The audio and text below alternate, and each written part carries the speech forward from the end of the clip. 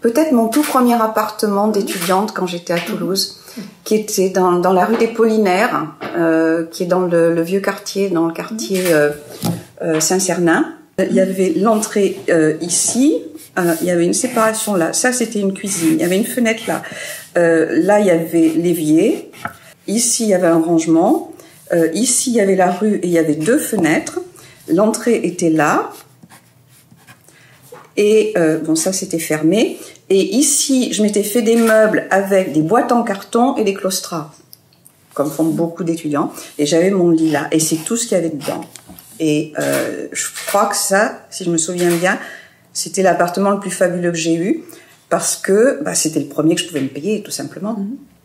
Et c'était le, euh, le, le- comment dire, c'était mon indépendance, c'était euh,